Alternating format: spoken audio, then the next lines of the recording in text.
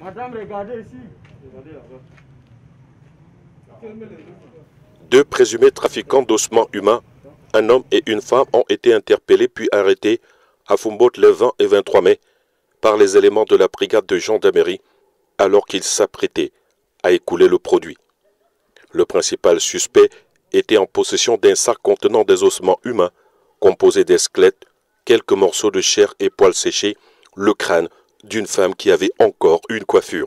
Monsieur le colonel commandant de la Légion de gendarmerie de l'Ouest et sur renseignement avec euh, nos différents partenaires et amis de la gendarmerie tels que l'ONG LAGA.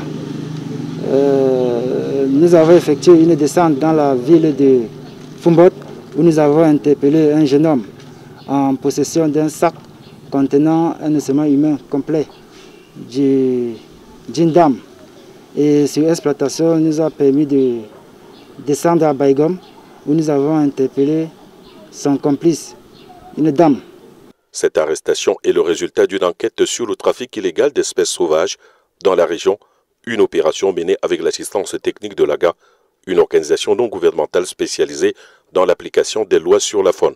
Population de collaborer pour nous permettre de, de mettre fin à ces différents fléaux qui minent notre société.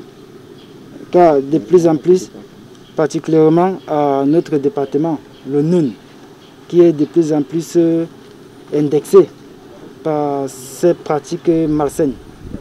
Les parties des corps humains et certaines espèces sauvages constituent le lot des transactions illégales observées dans le NUN.